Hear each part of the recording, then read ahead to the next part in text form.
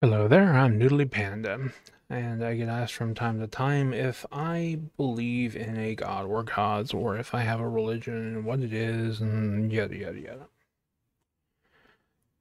I'm going to go ahead and answer that question. I am an atheist. I don't have a god, I don't have a gods, I don't have a religion. I have a lack of a belief in a god or gods. I have none. I also subscribe to the philosophy of separation of church and state. I don't believe that the government should be respecting the rules of a religion over one religion or another. And I think the religions should stay completely out of government. And I know this is a controversial take for a lot of people, especially where I am in the Bible Belt because a lot of people like to go into the voting booth and be like, well, God says, or well, my Bible says, and that's the problem. You need to stop voting with your religion because you're not really being a good person when you do that.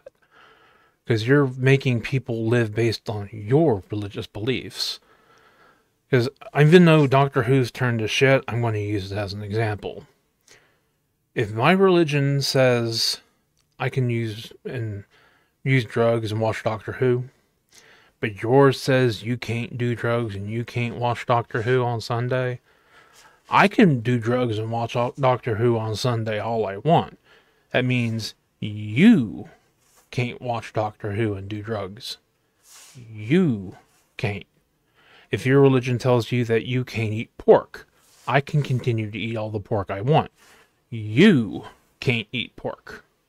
If your religion tells you that you can't consume alcohol, that means you can't consume alcohol.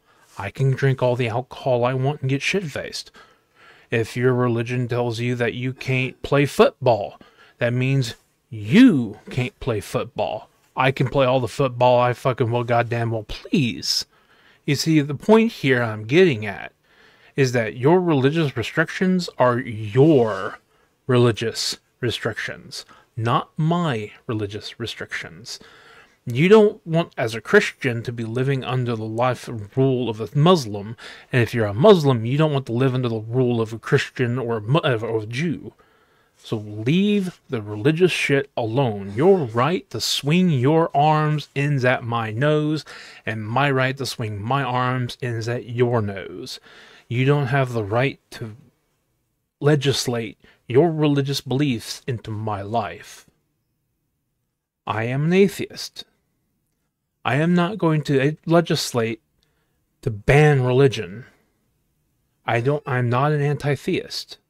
I'm not anti-Christian. I'm not anti-Jew. I'm not anti-Muslim.